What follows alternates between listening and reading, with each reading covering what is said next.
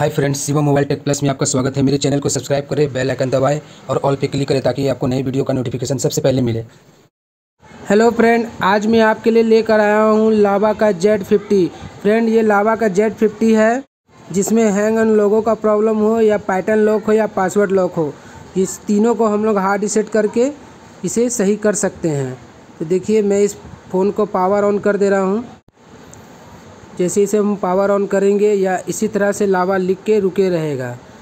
पर अगर आपके फ़ोन में अगर पैटर्न लॉक लगा है या पासवर्ड लॉक लगा है तो भी आप इस फ़ोन को हार्ड रिसेट करके ठीक कर सकते हैं।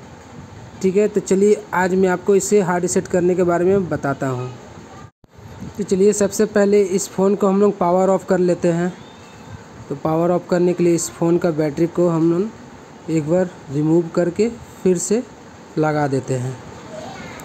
ठीक है, इस फ़ोन का बैटरी थोड़ा लूज है, इसीलिए मैं इसे टाइट करके लगा दे रहा हूँ।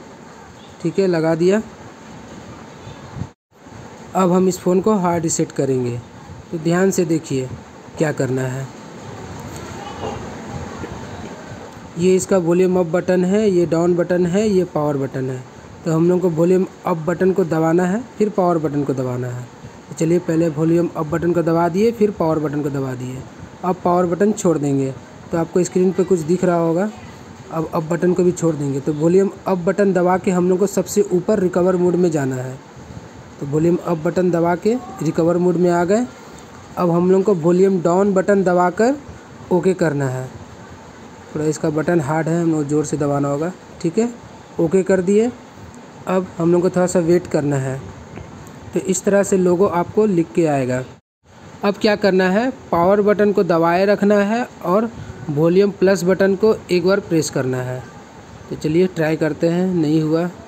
नहीं हुआ। फिर से एक बार ट्राई करते हैं। पावर बटन को दबाए रखेंगे और वॉल्यूम प्लस बटन दबा दिए। ठीक है? अब हमारे यहाँ पर बहुत सारा ऑप्शन आ चुका है। यहाँ पर सबसे ऊपर में लिखा हुआ है रिबूट सिस्टम नाउ थोड़ा सा नीचे आएँगे तो आपको दिखे, दिखेगा। वाइप डाटा फैक्ट्री रिसेट तो हम लोग को वॉल्यूम डाउन बटन दबाकर वाइप डाटा फैक्ट्री रिसेट पे आ जाना है और पावर बटन से ओके कर देना है। ठीक है, यहाँ नो यस मांग रहा है तो हम लोग को वॉल्यूम डाउन बटन से यस पे आ जाना है और पावर बटन से ओके कर देना है। ठीक है तो ज़ोर से दबाना पड़ रहा है। ओके कर दिए, अब हमारा फ़ोन जो फैक्ट्री डाटा रिसेट हो गया। यहाँ नीचे में आप देख सकते हैं, वाइप डाटा कंप्लीटेड लिखा चुका है। ठीक है, अब क्या करना है? यहाँ सबसे ऊपर में लिखा है रिबूट सिस्टम नाउ तो हम लोग पावर बटन का यूज़ करके इस फ़ोन को रिबूट कर देंगे। अब हमारा फ़ोन जो है रिबूट मोड में चला गया है। यहाँ पर आपको पाँच, छः, सात मिनट लग सकता है। तो जब तक आपका फ़ोन खुद ब खुद स्टार्ट ना हो जाए, तब तक आपको इसमें कुछ नहीं करना है। फ्रेंड अगर आपको मेरा वीडियो अच्छा लग रहा है तो मेरे वीडियो को लाइक करके चैनल को सब्सक्राइब कर दे और बेल आइकन दबा दे। मेरे चैनल पर आपको और भी मोबाइल से जुड़े बहुत सारे वीडियो मिलेंगे, जिससे आप अपने मोबाइल का प्रॉब्लम का सोल्यूशन कर सकते हैं। तो जल्दी से मेरे चैनल को सब्सक्राइब कर ले और मेरे चैनल का हिस्सा बने।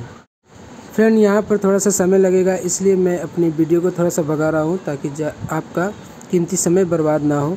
तो चलिए मैं अपने वीडियो को थोड़ा सा भगा दिया हूँ।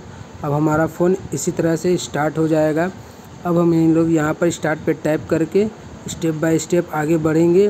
और अपने मोबाइल को सेटअप करके चला सकते हैं। यहाँ आगे बढ़ने के बाद आपको जीमेल अकाउंट मांगेगा तो आप अपना जीमेल अकाउंट डालकर इस फ़ोन को चला सकते हैं। तो मेरी वीडियो को देखने के लिए धन्यवाद। थैंक यू दोस्तों।